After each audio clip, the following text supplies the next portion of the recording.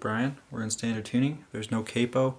Technically, this song is all bar chords, but I've simplified it so that we're not playing any bar chords here. I'm going to go over how to play the chords, and then we'll look at the chord progression for the verse and the chorus. So we have a A flat, we have a D flat, a B flat, and an E flat. And instead of doing the bar chords, we're just going to be doing these power 5 chords so that beginners can play this song as well. So if you already know how to play those chords, you can go ahead and skip ahead a little bit here. Um, but for now, I'll be teaching you how to play those chords. So for our A flat, we're going to have our index finger on the 4th fret, the low E string, middle fingers on the 5th fret of the G, ring fingers on the 6th fret of the A, pinkies on the 6th fret of the D. And make sure not to play those two strings, just play the top four strings.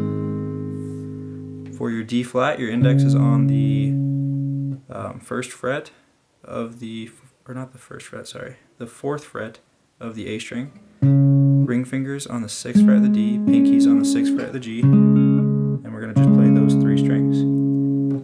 Um, for our B flat, you're going to slide that shape down to the first fret, so your index is on the first fret of the A, ring finger and pinky are on the third frets of the D and the G strings, and then same thing for the E flat, you just slide it up to the 6th fret, so you, these two fingers are on the 8th fret, and your index is on the 6th fret. So those are the four chords we're going to be mainly working with here. We're going to start off super simple. I'm not going to teach you the picking right away. Um, I'm just going to strum and show you how to do it. But we're going to start on our A flat for the verse. So we're going to strum twice on our A flat. One. We're going to pick our G and move our index to the third fret of the G. So one, two. Then we're going to go to our D flat, one, two, and you're going to pick your D twice and drop your middle finger to the fifth fret, so sixth fret to the fifth fret, and then you're back to that A.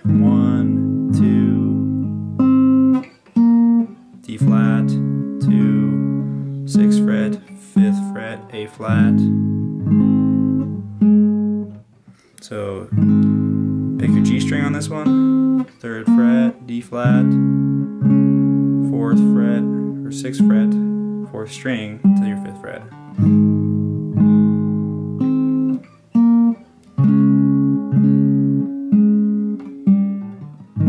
And you can play that throughout the entire verse, that's to be perfect.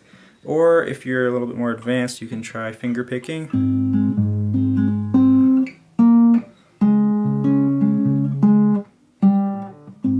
So what I'm doing is I'm picking the E and the G simultaneously and then I'm rotating between the D and the G strings.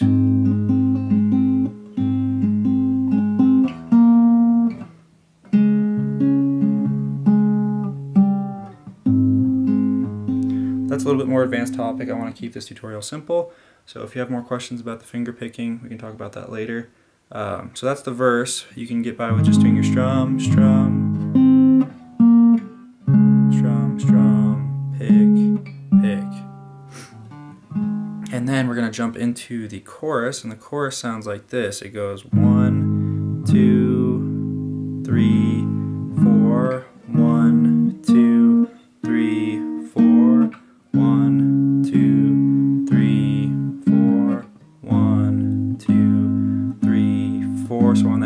flat again, one, two, three, four. You're jumping up to your E flat, five chord.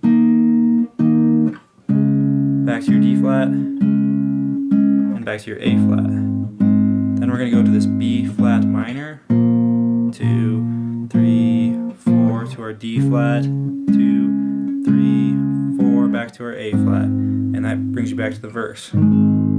So the chorus all together, I'm going to go through that once here for you.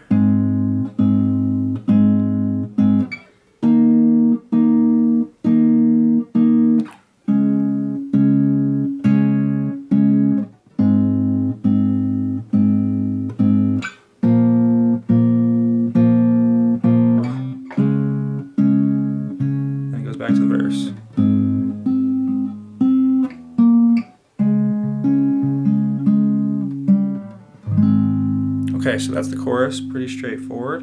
Um, the chorus is played again, and uh, the progression that's in the chorus is played throughout the outro, and there's a bridge in there as well. And it's pretty much the same progression, but instead of doing this once, this progression where they go on the B flat to your D flat, once, they do that twice.